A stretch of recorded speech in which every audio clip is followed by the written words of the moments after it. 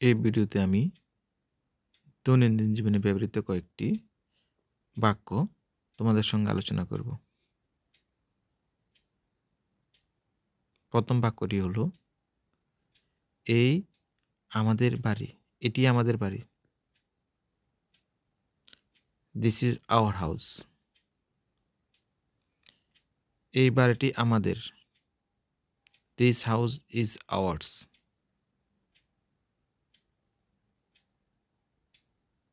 এটি তোমার কলম। দিস ইজ ইউর পেন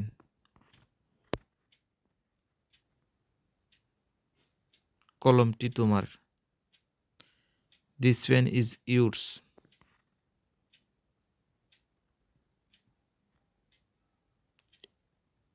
এটি তার পুতুল। This is her doll